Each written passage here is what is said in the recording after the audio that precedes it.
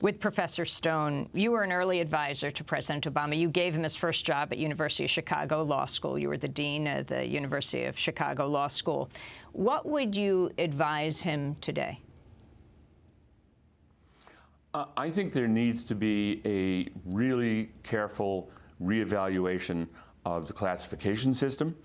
There's no question that we wildly overclassify, and that creates all sorts of problems, uh, for both for the press and for the ability of the government to keep secrets. Because if you try to keep everything secret, you don't effectively keep very much secret. Uh, so I think that's critical. Um, I think there is a serious question about um, how we make the trade-off between security and privacy, um, and I think that that's an issue that needs to be addressed um, carefully, uh, certainly within the administration, within the government, uh, to the extent there are genuinely uh, secret policies that need to be kept secret, and I believe that's perfectly possible, then I think that does not um, immunize them from serious debate by responsible people within the four corners of the administration, bringing in people who can have national security clearances uh, to take the devil's advocate position and challenge these issues.